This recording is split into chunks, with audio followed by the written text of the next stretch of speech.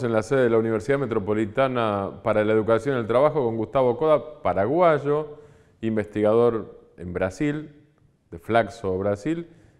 Gustavo fue asesor internacional y directivo de ITEPU durante la presidencia de Fernando Lugo en Paraguay. Gustavo, gracias por la entrevista con eh, Claxo T, por prestarte a este diálogo. Si uno quisiera entender, si uno quisiera empezar a entender Paraguay, no digo históricamente, sino claves. ¿A través de qué puede acercarse? ¿De algún libro, de alguna película, de algún ensayo, de alguna imagen? ¿De qué? El Paraguay, digamos, necesitaría realmente de alguna síntesis que actualmente todavía no tiene.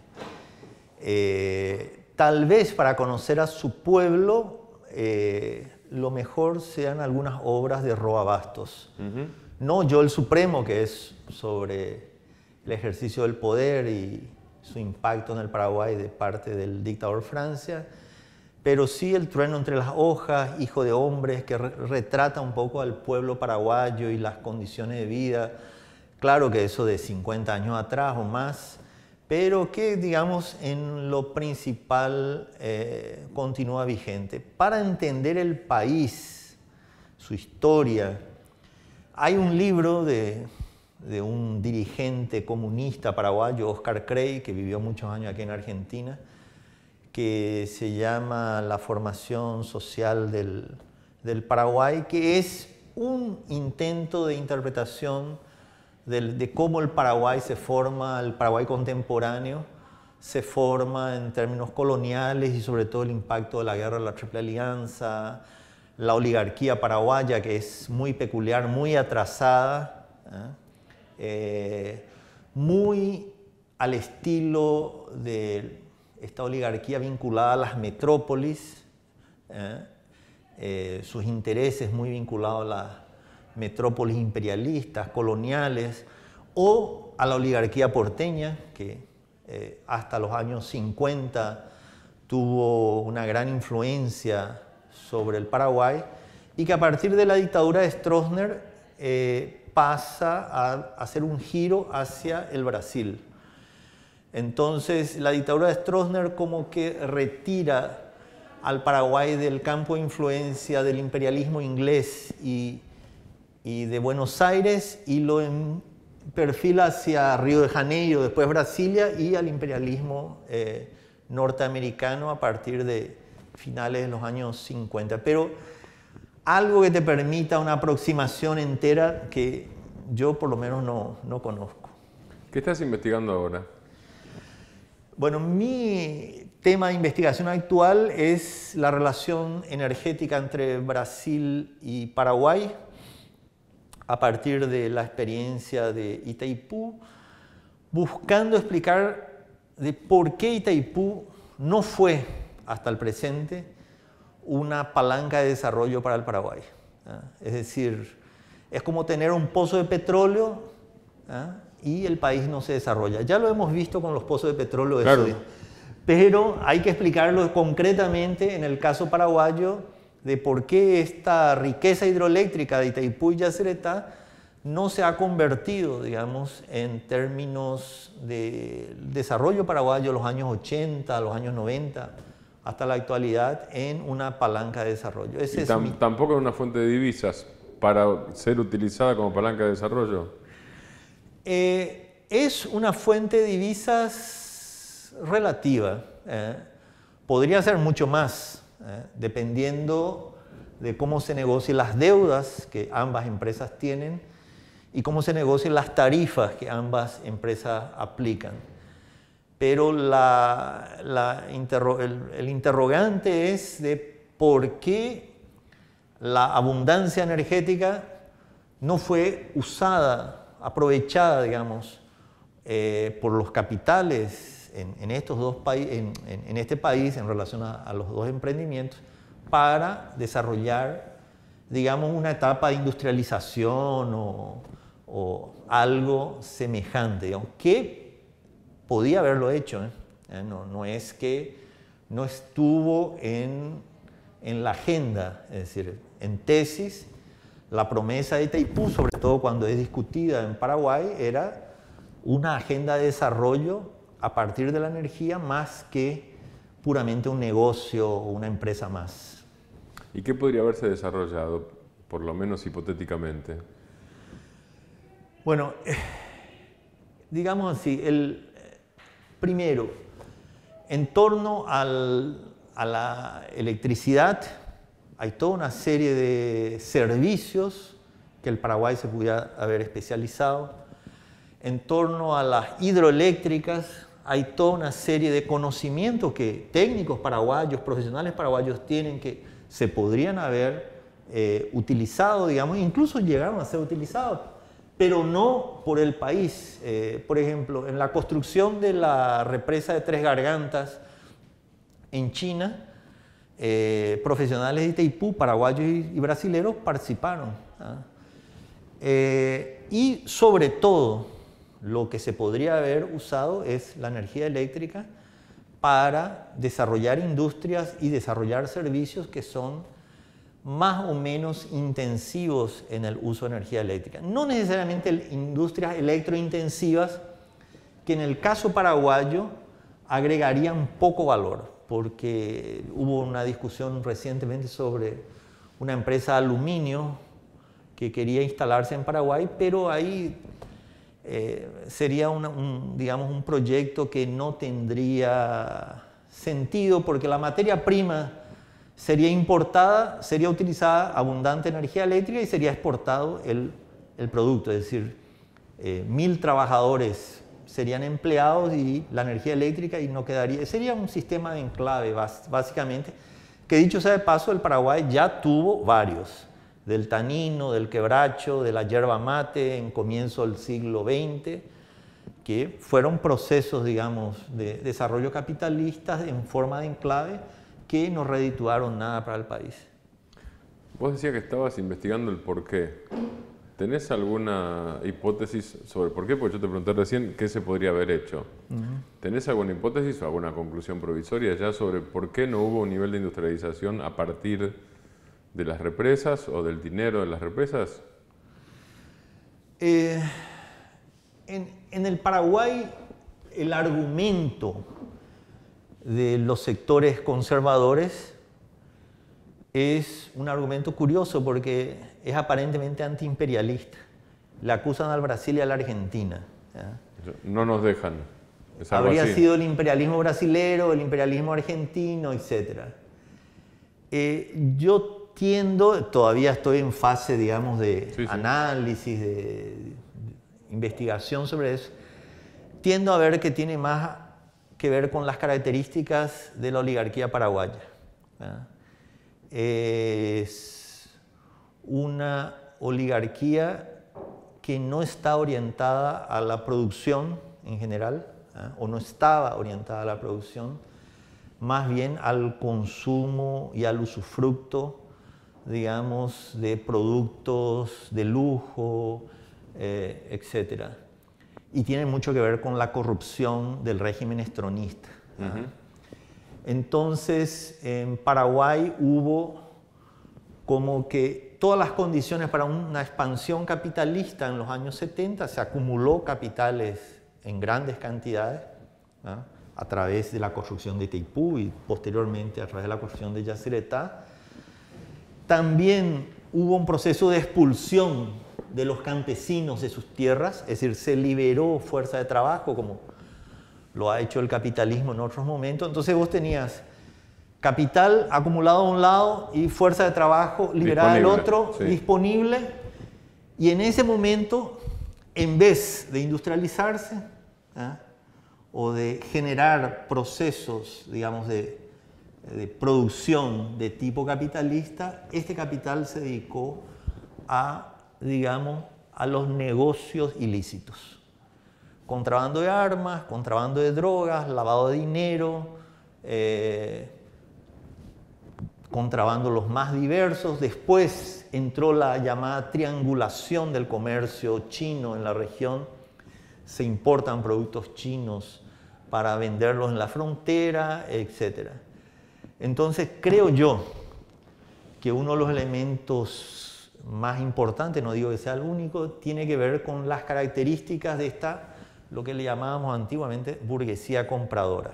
Es decir, una burguesía que más que producir internamente estaba interesada en eh, beneficiarse del consumo, eh, digamos, globalizado. O sea, quería beneficiarse de una renta determinada, determinada, fuera legal o ilegal. Claro, para poder consumir globalizadamente. en los años 70 en Paraguay vos podías ver autos de lujo europeos, norteamericanos, que no ibas a encontrar en el Brasil, porque en Brasil estaba prácticamente prohibida la importación.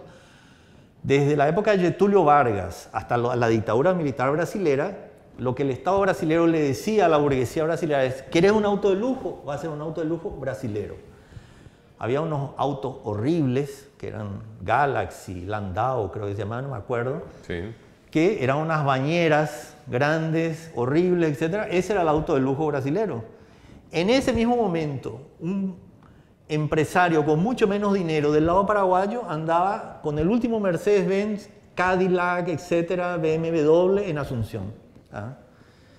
Y esa dominancia, esa dominación política de esta burguesía compradora, creo yo que es el elemento fundamental que ha trabado las posibilidades de desarrollo del país. Es más, si analizamos el sector que ha avanzado en términos capitalistas, que es el agronegocio, en realidad avanza a partir de la llegada de la frontera agrícola brasilera en Paraguay.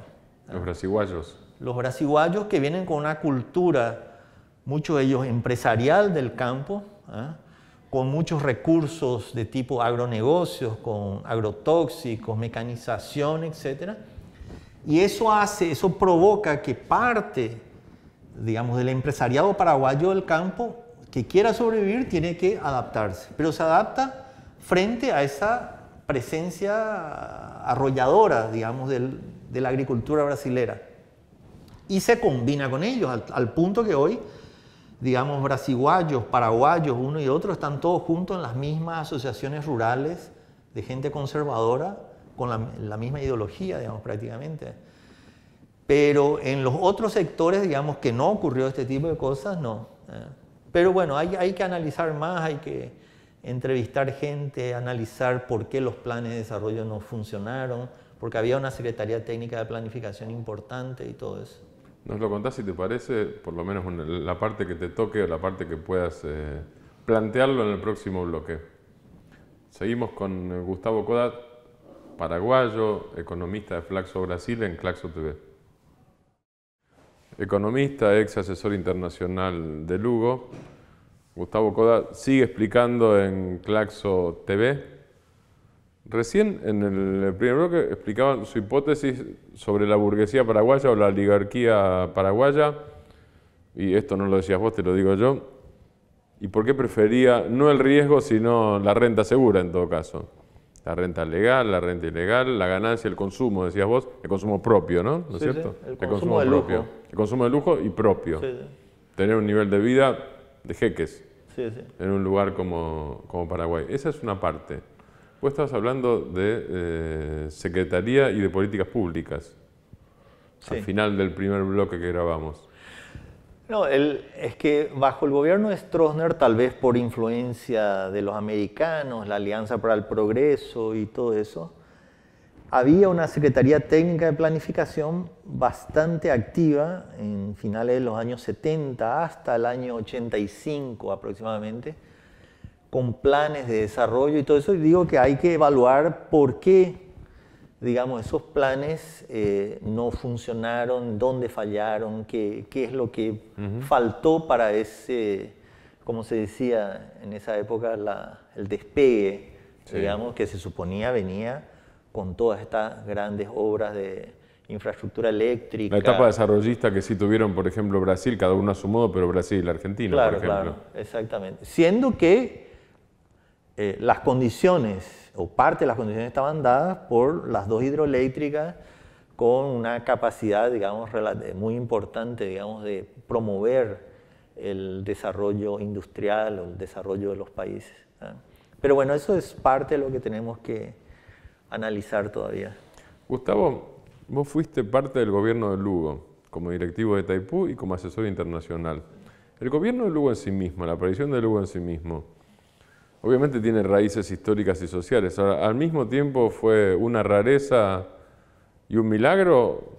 esas condiciones son repetibles, por lo menos las condiciones de comienzo son repetibles, inclusive eh, eh, en otra escala, bajo formas distintas, o fue una situación extraordinariamente única. No, eh, yo creo que en la fase de la democracia o de la democratización que no termina todavía en, Paraguay desde el 89 para acá, en realidad el pueblo paraguayo ensayó dos o tres veces antes de Lugo, digamos, alternativas que no se cumplieron. Eh, o que se cumplieron por la mitad o una parte, o eran, en realidad eran falsas alternativas, como el caso del general Oviedo. El general Oviedo en mediados de los años 90 eh, surge como un cuestión, su actitud como un cuestionamiento a esa institucionalidad bastante precaria, conservadora del, digamos, de la democratización paraguaya, eh, pero claro, eh, concita mucha, mucho apoyo popular, pero tiene un giro bastante rápido hacia características que algunos los eh, califican de fascistoides, autoritarias sin duda, etc. Pero bueno, entonces en la política paraguaya hubo como que dos o tres intentos antes, incluso en la elección del intendente de Asunción, cuando Carlos Filisola es electo en el año 91 ¿eh? no es cualquier cosa. Asunción tenía y tiene un peso muy grande eh, la elección de alguien independiente fuera de los partidos tradicionales y todo ese tipo de cosas. Entonces, primero había antecedentes. Lo que no había era un proceso que buscara impulsar más fuertemente cambios en el país. Y no estoy hablando de cambios propiamente estructurales o reformas profundas como eh, se podría pensar, digamos así, en, nuestra América Latina, pero había cambios simbólicos muy grandes. Por ejemplo, eh, tratar de manera diferente al movimiento campesino, que había sido muy reprimido en fases anteriores. Que el presidente de la República decía que lo iba a recibir a los dirigentes de la rural y a los dirigentes, digamos, campesinos en pie de igualdad. ¿ah? La idea, que fue muy fuerte, de que gente de izquierda, que había estado presa, perseguida, pasara a cumplir cargos de alta dirección del Estado. ¿ah? También, claro, la democracia valía en aquello que llamaban la alternancia dentro del proyecto pero no una alternancia de proyectos. ¿eh? Es decir, podía cambiar de color, de colorado a azul, dentro del mismo proyecto. Ahora, pero más bien colorado igual. Muy colorado. Pero de cualquier manera, entonces hay una serie de cambios, digamos, en, términos simbólicos, eh, muy importantes, pero son cuestiones simbólicas que tienen repercusión política en la sociedad que muestran un avance de la legitimidad de las ideas o de la presencia de la izquierda, o por lo menos de otras ideas que no sean de la política oligárquica tradicional que dominó el Paraguay desde final del siglo XIX. Paraguay es uno de los países que tiene un sistema partidario más, digamos, duradero en, toda América Latina. Ambos partidos fueron fundados en, en la década del 80, de 1880 entonces, eh, y la otra cosa que me parece que fue muy importante es que el presidente Lugo, el candidato Lugo, prometió algunas cosas y las cumplió.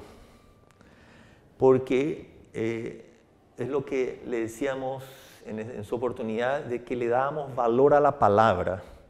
Es decir, dijo que la salud iba a ser gratuita y el primer día, las primeras acciones fueron para conseguir eso, con la precariedad del sistema de salud paraguayo. ¿eh? No, no, estamos hablando de otra cosa, pero significaba que la gente iba a poder acceder a la salud pública sin pagar aranceles, tasas, etc.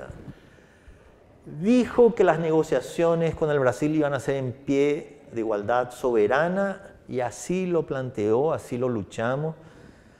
Trataron de desacreditarnos diciendo que éramos chiitas, etc. Pero el resultado estuvo ahí. ¿eh? Se consideró una serie de avances, faltaron más cosas, otras negociaciones que estaban pendientes, etc. Entonces, yo creo que la importancia del gobierno Lugo es primero que a diferencia de otros momentos donde la búsqueda por alternativas, por uno u otro motivo, digamos, se, truncaba, se frustraba, ahora parecía concretarse ¿eh? en un gobierno que venía, cumplía con, con la palabra, con las propuestas, etcétera Segundo, que era una nueva clase dirigente, ¿ah? ya no eran apenas colorados liberales, ¿eh? había el surgimiento de un nuevo sector eh, político eh, dirigente. Y tercer elemento muy importante que es la región, es decir, se colocaba de que el Paraguay se ponía a tono con el avance de gobiernos progresistas en toda la región de América del Sur, de América Latina como, como un todo. Entonces, yo creo que el, el, gobierno Lugo fue parte de un proceso del pueblo paraguayo y creo que hay condiciones de reeditar esa, esa, esos resultados o esas expectativas y esa capacidad político-electoral. ¿Aún sin un sector colorado? Bueno, Yo, mi impresión es que así como ocurrió en el gobierno Lugo, que en la campaña de Lugo, que su victoria fue en parte resultado del apoyo de liberales y colorados, eso va a tener que ocurrir. ¿eh? Es decir, el proceso de democratización del, del, Paraguay pasa necesariamente por un debilitamiento de estos dos partidos tradicionales en sus características actuales. ¿ah? Eh, veremos qué pasa. El gobierno Cartes en realidad está tratando de hacer una actualización del Partido Colorado a partir de un esquema externo al partido que toma el partido, gana las elecciones y ahora lo está tratando de transformar. Veremos qué pasa. ¿Transformar en qué, Gustavo? Y yo diría que de un esquema clientelista tradicional que era del Partido Colorado, algún tipo de derecha moderna, digamos, muy influenciada por ideas norteamericanas, la, forma de tratar el marketing político, ese tipo de cosas. Incluso porque el gobierno Cartes es un gobierno que lo caracterizaría como una especie de neoliberalismo fuera de época. Entonces, eh, tiene necesidades, digamos, frente a, un partido muy tradicional como es el Partido Colorado, un partido de clientela, de clientelas rurales, muy autoritario, etcétera, tiene necesidades de transformarlo en otra máquina política. Vamos a ver qué pasa, porque hay mucha disputa interna actualmente. ¿Cuáles son, vos hablas de un proceso de democratización y hablabas del tema de la estructura de los partidos siendo lo más sintético posible, ¿cuáles son los desafíos democratizadores eh, más acuciantes que tiene Paraguay?